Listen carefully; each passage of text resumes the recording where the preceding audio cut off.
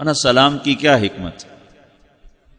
सलाम तो होता है, जब थोड़ा सा जुदाई हो जाए तो फिर सलाम फेरा जाता फिर सलाम किया जाता है असल रहमतुल्ला और यहाँ तो शुरू से लेकर आखिर तक चार रकात, तीन रकात, दो रकात में इकट्ठे खड़े हैं, फिर वो सलाम कहते हैं असलकुम फिर इतना नहीं कहते, वरहमतुल्लाहि वबरकातुहु। पूरा सलाम। अल्लाह के नबी पे कुर्बान जाएँ क्या क्या सबक पढ़ा गया अपनी उम्मत को। अल्लाह ताला थोड़ा सा हमें हिस्सा अता फरमा दे। असलकुम वरहमतुल्लाह हर नमाजी कर रहा, हर नमाज़ हर नमाज़। और लिखा है हमारी किताबों में कि जब दाएँ तरफ़ सलाम फेरे तो दाएँ तरफ़ जितने नमाजी हैं, उनको सलाम की नीयत करें। जब बाएँ तरफ़ सलाम फेरे तो जितने बाएँ तरफ़ नमाजी हैं, उनके सलाम की नीयत करें। तो इस सलाम में पैगाम क्या है? मन सलिम अलमुसलमून मिलसान ही वयद ही ये पैगाम है कि इन आपकी इज़्ज़त आपकी जान, आपका माल मेरी तरफ़ से महफूज रहेगा, सलामती रहेगी, कोई हर्फ नहीं आएगा मेरी तरफ़ से। ये इस्लाम का सबसे आला दर्जा है।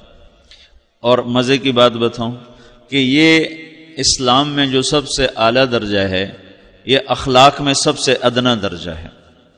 मौली ज़ुबैर की मैं गीबत ना करूँ, इस पे हाथ ना उठाऊं, इसकी पगड़ी ना उछालूं, इसको बेइज्जत ना करूँ ये कोई आला दर्जा अखलाक का नहीं है, ये तो तैतीस नंबर वाले अखलाक हैं कि इसके बाद तो फिर फेल शुरू हो जाता ये अखलाक का अदना दर्जा है, अदना दर्जा है, आखिरी दर्जा है कि कोई औरत दूसरी औरत के लिए बायस तकलीफ़ ना हो, बायस तकलीफ़ ना हो, कि उसको तकलीफ़ पहुँचाने वाला ना बोल बोले, ना हाथ उठाए। और हाथ उठाना सिर्फ़ मारना नहीं है, बल्कि जिल्लत से हाथ का इशारा भी तकलीफ़ में है। जिल्लत के लिए तहकीर के लिए यूँ इशारा करना, ये भी इसमें आता है। सिर्फ़ इसे थप्पड़ मारना मुराद नहीं है डंडा मारना मुराद नहीं, बल्कि किसी को जिल्लत और तखीर से यूँ यूँ करना, ये भी इसमें शामिल है कि बाज़ात हाथ का इशारा भी थप्पड़ से ज़्यादा दिल को दुख दे जाता है, तकलीफ़ दे जाता तुम जो हो ना, तुम, ये ये जो उंगली यूँ करते हैं, ये दिलों को चीर के रख देते इंसानी दिल बड़ा हसास किस्म का है। तो अखलाक में ये अदना दर्जा है अदना। कि मुझे कोई तकलीफ़ ना पहुँचाए मेरी कोई कीमत ना करे तो ये तो आखिरी दर्जा है। और मैं अगर अखलाक में आखिरी दर्जे पर आऊँ तो मेरा नबी मुझे आला दर्जे का मुसलमान बना रहा है। और अगर मैं आला दर्जे के अखलाक बना लूँ तो फिर मेरा मकाम कहाँ होगा? अल्लाह अकबर। अब वो सवाल करता है, मल ईमान, मैंने उसकी जवाब बताया। अब यही सवाल एक और साइल करता है, या रसूल अल्लाह अयुल ईमान अफवल? सबसे आला दर्जे का इस्लाम क्या है? मन सलिम अलमुसलमून मिलसान ही वयदी ही ज़िंदगी में ये तय कर लो, कोई कितना ही तुम्हें दुख पहुँचाए, कोई कितना ही तुम्हारी बेइज्जती करे, चुप हो जाओ, सह जाओ। मरने वाले की क्या इज़्ज़त, क्या जिल्लत? मैंने तो मर के देखा है। और मुझे ये हदीस समझ में आई है, बड़ी अच्छी तरह मुँह तू कबल अंत मुँह तू कि मरने से पहले मर जाओ। उस वक्त अगर मैं मर जाता तो मुझे कोई गालियाँ देता तो मुझे क्या नुकसान था? और मुझे कोई नारे लगाता, मेरे लिए तो मेरा क्या नफा था? तो मरने से पहले मर जाओ। कोई तुम्हें बुरा भला कहे तो तुम्हारा क्या नुकसान तुम्हें कोई वाह वाह नारे लगाए तुम्हें क्या नफा है? अगर अल्लाह राज़ी है तो मुर्दाबाद और जिंदाबाद से बेनियाज हो। अबू ज़र रज़ी अल्लाह तहो को एक आदमी ने गालियाँ दी। तो उन्होंने फरमाया, बेटा, एक घाटी आगे आ रही है, उसमें गिर गया तो जो कुछ कह रहे हो, इससे भी ज़्यादा का हकदार हूँ।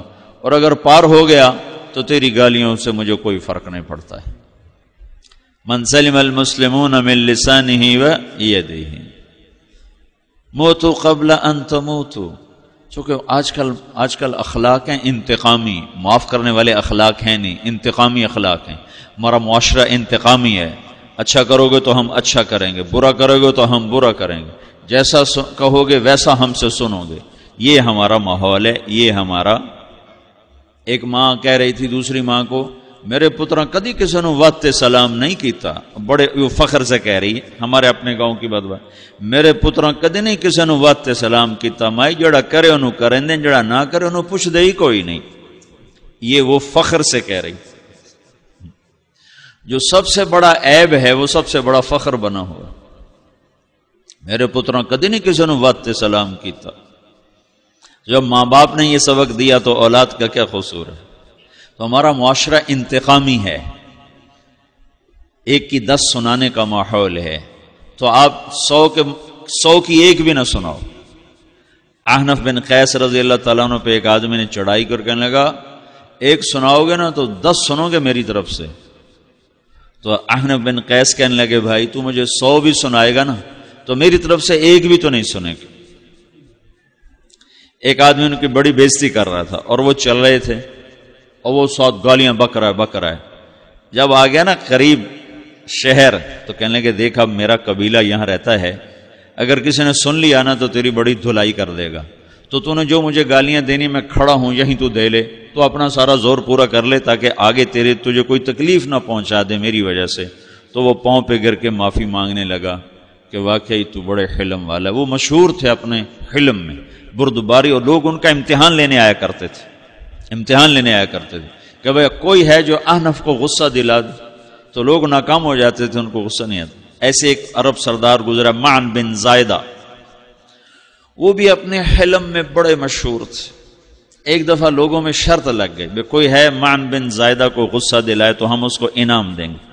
तो एक शायर ने कहा, मैं गुस्सा दिलाता हूँ। तुम देखना, ऐसे सीख पा हो जाएगा जैसे जानवर।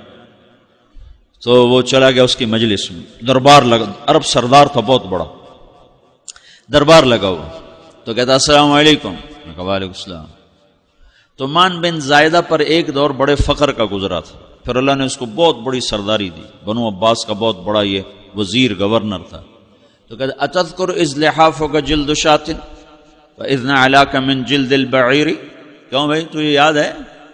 जब तेरा बिस्तर बकरी की खाल था और तेरे जूते ऊँट की खाल के थे तो कहने लगा, क्यों नहीं याद? भला कोई माजी भी भूलता है।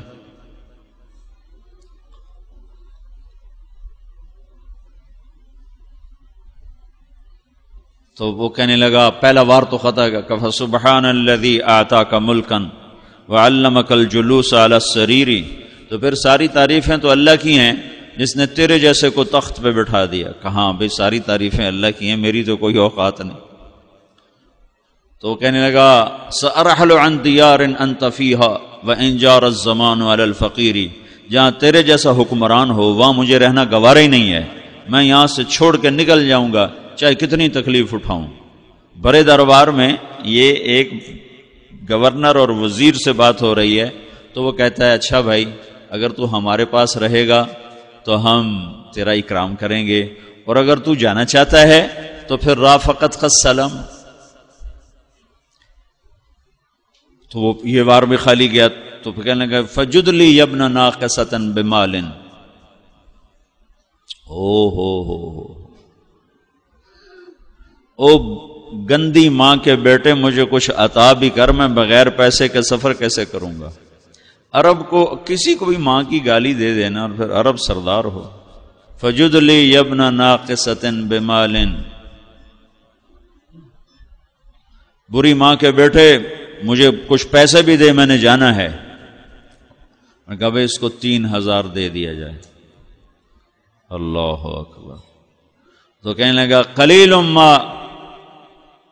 आताई तनी व इन्नी लथमो मिन कफिल कैसीरी। ये तो बहुत थोड़ा तो ने दिया है, मुझे और दे। कहा अच्छा भाई, तीन हज़ार और दे दो। तो वो शायर की भी आँखें फट गईं। कहने लगा, अब ठहर जा ठहर जा। अब मैं तेरी असल तुझे बताता हूँ। साल तो अनबकी का दुखरा फमाल कफिल बरीत में नवीरी मैं अल्लाह से दुआ करता हूँ, अल्लाह तेरे जैसों को सलामत रखे। तेरे जैसा दुनिया में किसी माँ ने जना ही कोई नहीं। फमिन कल जूद वल इफवाल हक्का वफदल यदई का कल बहर गजीरी।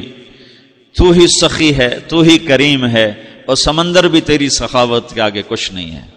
तो कहा अच्छा भाई, तूने हमारी बुराई की, हमने तुम्हें छह हज़ार दिए। अब तूने हमारी तारीफ़ किया भाई दस हज़ार और दे दो इसको। हा हा, बातें ही रह गई, बातें ही रह गई। कहाँ से लाएँ ऐसे लोग? हम्म? हमारा मुआशरा इंतकामी है, बदला लेने का है, बदला लेने का। उसने मेरे साथ किया, मैंने भी करना है। आला दर्जे का इस्लाम ये सिखा रहा नहीं, चुप हो जाओ। सलामत बन जाओ, सलामती बन जाओ, सलामती की अलामत बन जाओ। मनसलम मुस्लिमून मिल लिसान ही वयद ही